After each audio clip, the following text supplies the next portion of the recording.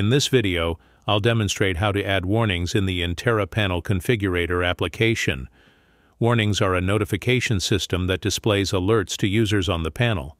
To access the warning page, we right-click on the relevant server and select General Settings.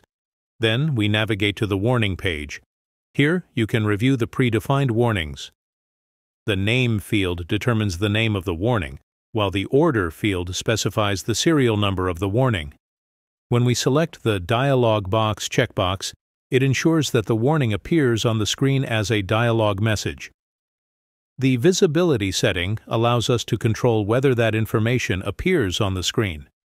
Alarm MP3 file allows you to select the alert sound for the warning.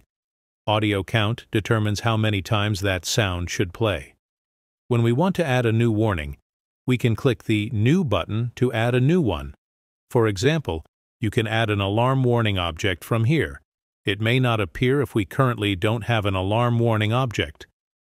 Then, to transfer the relevant configuration to the touch panel, we need to go to the device map and click on Send Database. After selecting the relevant server and clicking the Send DB button, pressing OK will transfer the configuration to the panel, making it ready for use. For more of our training videos, follow the playlist and please subscribe.